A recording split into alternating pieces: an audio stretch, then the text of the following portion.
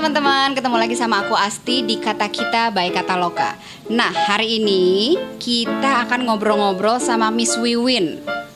Hai Miss. Hai. Dan juga ditemenin sama Kanaka Winson di bagian Musik, musik. Musik. Biar seru. biar seru. Oke. Nah, oke nih. Ngomong-ngomong tentang corona, WFH, COVID ini, Miss, udah hampir sebulan loh. Iya. Kita tuh work from home, ya kan? Iya sih. Physical distancing udah hampir satu bulan. Pemerintah Ya. bilangnya pokoknya kita harus kerja, harus belajar, ibadah pun harus di rumah. Karena untuk kebaikan kita juga lah Betul ya sih, ini ya. Ah, ya udahlah ya. Memang kondisi lagi gini kita nurut aja dulu biar Ya. semuanya cepat selesai, cepat berlalu ya kan. Jadi bisa Betul. normal lagi semuanya. Oke. Nah, aku mau nanya nih, Miss. Uh, as a storyteller, sebelum COVID sama setelah COVID, WFH gimana? Yang jelas job nggak ada. Job nggak ada. ya? Automatically karena nggak ada panggung. Nggak ada Ya panggung, kan? Kita nggak Iya. boleh berkerumun. Betul. Tapi kalau misalnya secara teknis kerja dari rumah sih buat kita bukan sesuatu yang baru karena mostly aku kerjaannya diolahnya di rumah, Ya. eh, baru di panggung kan. Artinya keluarnya pada saat kita mesti perform Iya. gitu. Paling kayak gitu pinter-pinter ngalihin. Ya udah performnya online, streaming kayak gitu-gitu sih. Meskipun juga nggak banyak juga sih, nggak banyak maksudnya uh, belum bisa untuk uh, sebagai pengganti uh, penghasilan yang sesungguhnya on stage. Tapi setidaknya gitu. masih ada lah ya event-event yang bisa dilakukan secara online Ya, gitu ya, ya. artinya sekreatif mungkin ya kita bisa sih gitu loh. Oke. Nah, kalau aku mau cerita tentang aku sendiri ya. Jadi aku baru memutuskan untuk entrepreneur ini pas waktu awal-awal Covid. Bayangin, lagi semangat-semangatnya tuh bikin usaha sendiri, terus langsung deh Oh jadi rencana disuruh di ya. rumah aja. Perencanaannya sebelum covid. Rencananya sebelum Covid. Gitu. Jadi setelah pas waktu ada Covid disuruh di rumah aja, disuruh eh, ya sama pemerintah lah ya, pokoknya kita semua dibatasi kegiatan kita, bekerja segala macam dibatasi. Ngomong-ngomong tentang kerjaan nih, Miss. Ya. Aku mau nanya nih. Hal hal nekat apa yang Miss lakukan nih selama ini? Aku Iya, selama karirku. selama karir deh boleh cerita. Oke, oke selama ya mana aja ya berarti Ya. ya bukan aku as a storyteller ya. Ya. Oke, jadi aku dulu sempat kerja di uh, mining tambang. Nah, itu kan duitnya nggak berseri kalau teman-teman gue bilang Iya, gitu iya. kan. Tapi kemudian ada hal yang nggak kutemuin di situ.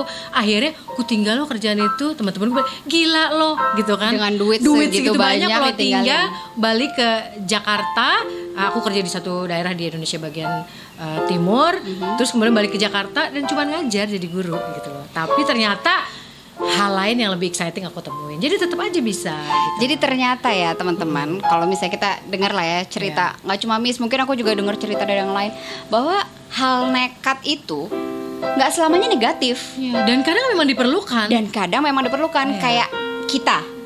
Kita cerita lah ya tentang kata loka yuk. Oh, Oke, cerita Jadi nih. menurut aku kata loka ini adalah salah satu hal nekat yang kita lakukan. Jadi di kata loka itu ada aku, ada Miss dan ada satu lagi partner kita. Kita sama-sama punya semangat yang sama gitu ya untuk ngegedein kata loka. Jadi kata loka itu adalah sebuah communication agency yang kita ngerjain apa aja nih di kata Iya. Jualan dulu dong. jualan. Jadi di situ ada PR-nya, ada medianya, ada event organizer-nya dan juga ada create eh, konten.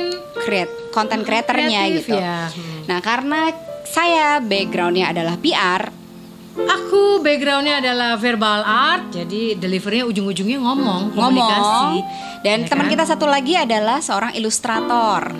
Jadi Ini pas ya banget sih. Iya ya. memang iya ketemunya Ah, di ketemunya. situ. Nah itu namanya rezeki, rezeki di tengah covid, ya kan? Betul. Sebenarnya kita sempet yang kayak maju nggak ya gitu loh, maju Iya. nggak ya? Karena kan em, kalau kita mau profesional, mau besar, pasti kita harus punya bendera kayak gitu gitulah.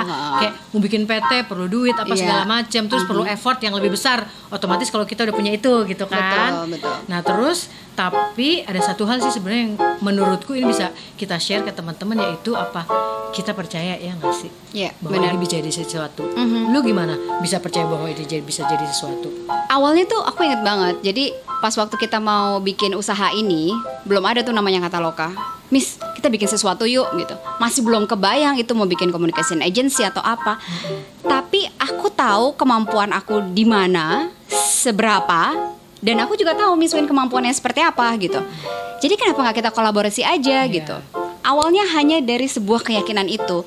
Kita juga nggak tahu gitu sampai nanti mungkin hasilnya akan seperti apa, seperti apa. Kita nggak tahu ya, Iya Miss. belum tahu kita, tapi kan kita proses harus dijalani untuk tahu. Mhm. Nah yang serunya lagi eh, kita udah nih berdua nih, terus eh, aku sih menyadari ya sebagai perempuan, mungkin teman-teman di luar juga sadar itu bahwa kita kadang-kadang bermain terlalu banyak. Dengan perasaan, tidak menggunakan logika. Terus kita terus bilang, as kita mesti cari satu partner lagi tapi harus laki, Betul. harus cowok, jangan cewek lagi biar imbang. Betul. Nah, kita ketemulah satu teman kita ini gitu Heeh. kan. Sebut saja Mr. G.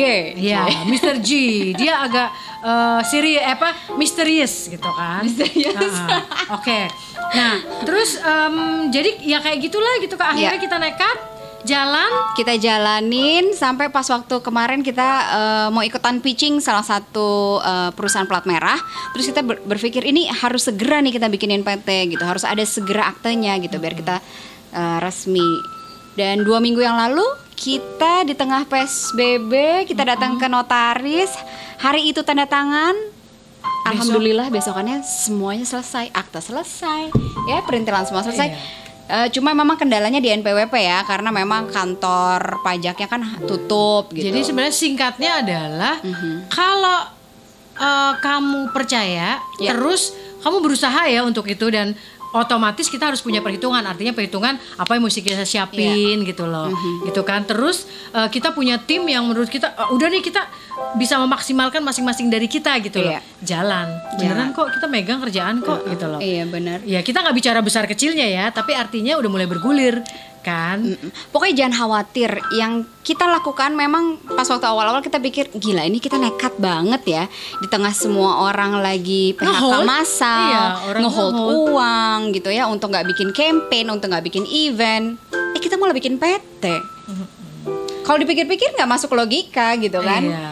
Cuma karena keyakinan itulah kita berdua akhirnya memutuskan kita bertiga memutuskan oke jalan lanjutin oke apa pun resikonya karena semua pasti ada resikonya. Ya, jadi- mau kita entrepreneur ada resikonya mau jadi karyawan juga ada resikonya mau diem di rumah pun nggak ngapa-ngapain ada resikonya betul? Jadi kebayang kan teman-teman duit kita sekarang udah nggak ada terus kita mesti berjuang cari job ya kan di tengah pandemik ini Iya. gitu kan.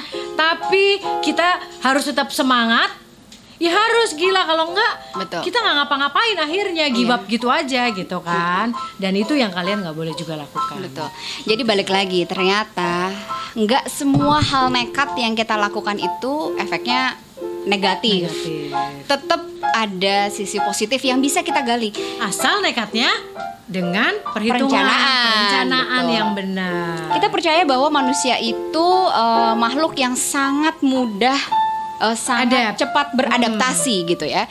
Jadi dengan eh, dengan situasi seperti ini, ternyata kalau kita twist gitu ya dengan pekerjaan-pekerjaan yang sebelumnya kita lakukan bisa aja kok kita bikin event online bisa aja kita bikin web series. Semuanya tuh yang tadinya nggak kepikir kita akan lakukan bisa kepikir. Bisa jadi lakukan. ada yang bahasanya the power of kepepet the power of kepepet. juga bisa jadi menghasilkan sesuatu yang kreatif. Iya. Oke, di uh, ideasnya adalah you have to believe what you have yang kamu punya, Iya. kemudian pasti kerja keras dong ya. Iya dong. Gak ada sesuatu yang lo bisa capai tanpa kerja keras. Iya.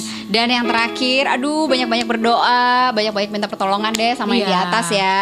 Eh iya ada satu lagi. Teman-teman kenapa sih kita bertiga eh, mau eh, berjuang ini di Kataloka dan sekarang perjuangan cukup berat di awal karena Iya. selain kita baru, kita juga di tengah pandemik karena kita percaya nanti hal yang kita lakukan ini bisa berimbas juga buat orang lain, Betul. bisa buka lapangan kerja baru. Iya. Syukur-syukur Kataloka sukses, kita bisa bikin program-program lebih banyak, bisa bisa juga bantu orang lain Iya. lagi ya kan gitu loh. Amin amin ya robbal alamin. Amin. Semoga ya. Oke, nah kita juga mau tahu dong cerita kalian tentang hal-hal Hal nekat yang kalian pernah lakukan selama COVID atau sebelumnya? Enggak, Eni.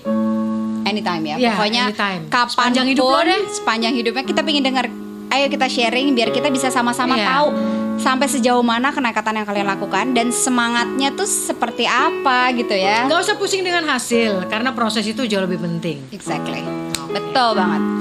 Oke, kalau gitu kita ngobrol-ngobrolnya seru banget. Nanti kita lanjut lagi di episode selanjutnya yang lainnya dengan eh, pembahasan yang lain juga ya. Tentunya yang tetap inspiratif Eh, yang bisa memberikan bisa sih ngajuin ke insight. kita apa yang mau dibahas. Oh, iya. Boleh sih. Bener ya. Oke, ya. Kira-kira apa yang menarik yang Ya. bisa kita obrolin? Oke.